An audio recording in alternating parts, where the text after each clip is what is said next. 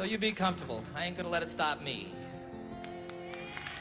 Here's a song that I gave to uh, UNICEF a few years ago, a song written for and about children. It's called Rhymes and Reasons.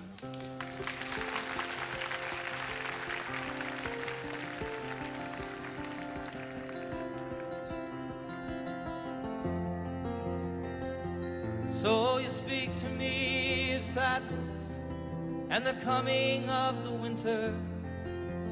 Fear that is within you now seems to never end. And the dreams that have escaped you, and a hope that you've forgotten. And you tell me that you need me now, and you want to be my friend. And you wonder where we're going, where's the rhyme, where's the reason? And it's you cannot accept. It is here we must begin to seek the wisdom of the children.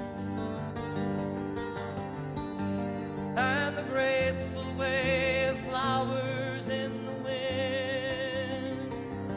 For the children and flowers are my sisters and my brothers. Their laughter and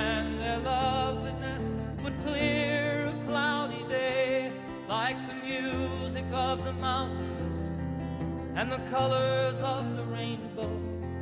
They're a promise of the future and a blessing for today.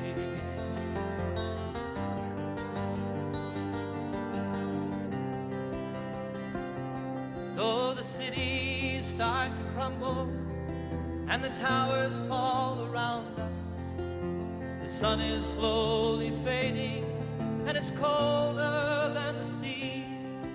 It is written from the desert to the mountains they shall lead us by the hand and by the heart, and they will comfort you and me in their innocence and trusting.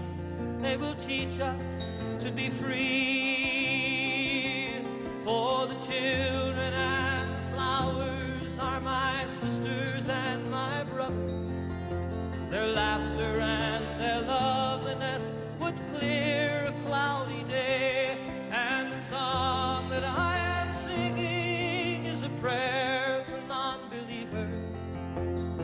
and stand beside us.